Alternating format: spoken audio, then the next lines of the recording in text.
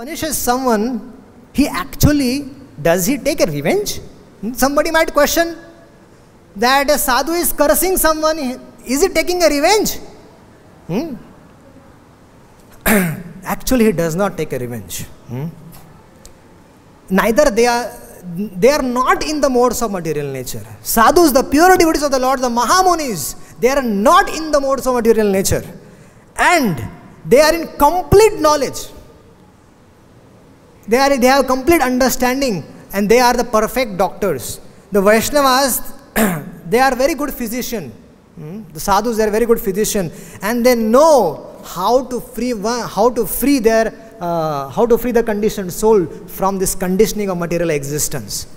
So they best they wanted to bestow their causeless mercy. So they do this this uh, this external thing which might look as a curse, but actually this is a mercy of Narad Muni on Alakuver and Manigriv, mm, and uh, Devala Rishi on uh, on Huhu Maharaj. Mm, this was actually an Agastya Rishi on Indradyumna. So all this is actually the mercy of the sadhus. they cannot be Vaishnavas who are on the Brahma Bhuta platform, they cannot be subject to any, any mistakes or they cannot be influenced by the mode of material nature. They are actually transcendental like the Supreme Lord. Janma karma chame divyam. It is applicable for the Supreme Lord, but it is also applicable for his dear devotees, his associates. Hmm? So, why, why do they do that? So that they can help that conditioned soul to go quickly to the abode of the Supreme Lord. Hmm? Now, let us try to understand the life of Maharaj Parikshit and also what is this curse and benediction? What does it mean to the Vaishnavas and what it is what, what is the nature of these curses and benedictions in the material world? We have to understand that.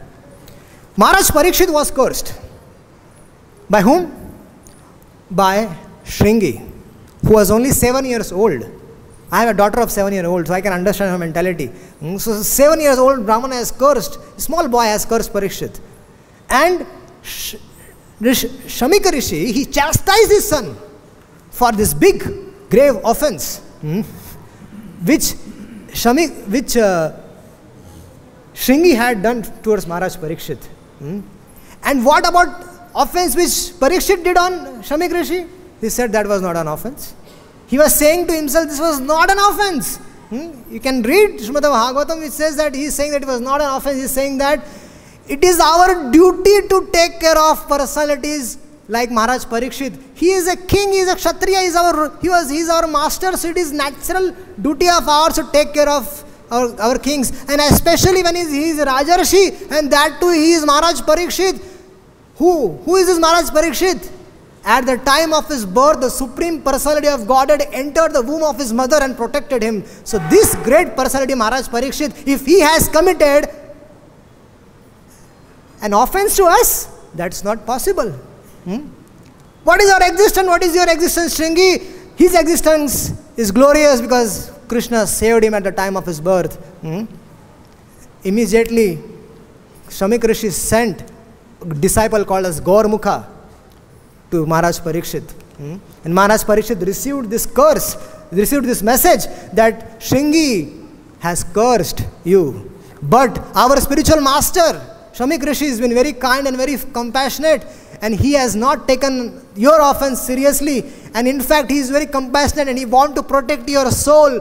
And that's why Shamik Rishi said hmm, to he, he gave this message via Gaurmukha to Maharaj Parikshit that please do Satkarma, please save yourself and attend, attend the Supreme Personality of Godhead. You have only seven days left with you.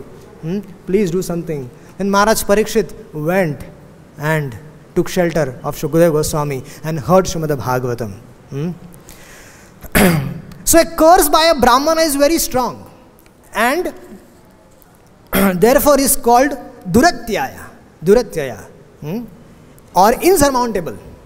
It is uh, Maharaj Parishit, although he was qualified enough, Chitraketu Maharaj also was qualified enough. Maharaj Indradyumna was also qualified enough to do what?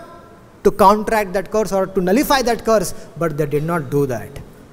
They accept it as the will of the Supreme Lord. Hmm? and as a Lord, because this Brahmana's curse is insurmountable, hmm, the Lord states in the Bhagavad Gita that the st- stringent laws of the nature are unsurmountable. Similarly, if the curse is uttered by a Brahmana, that curse is also unsurmountable, insurmountable.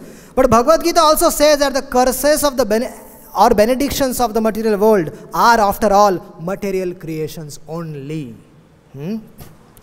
Chaitanya Charitamrit confirms that which is accepted in the material world to be a benediction and that which is taken to be a curse are both the, on the same platform.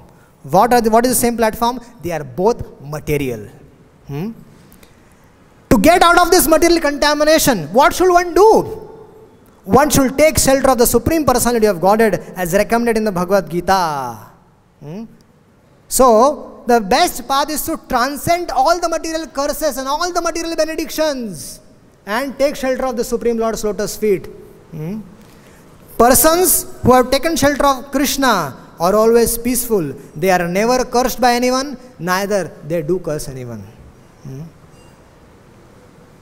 And not to forget hmm, that it was a curse only of Shringi that Srimad that gave Srimad Bhagavatam to the entire world. Hmm? What was the benediction? What was the uh, benefit of Shringi cursing Maharaj Parikshit? The whole world got Srimad Bhagavatam.